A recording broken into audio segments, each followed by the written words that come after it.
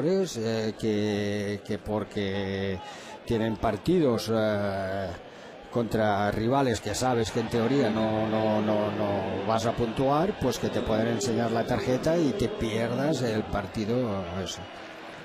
Pues se prepara un nuevo cambio en la Unión Deportiva Almería. Berza va a entrar al terreno de juego. Berza se va a ir, me ha parecido ver, va a entrar en su lugar Corona.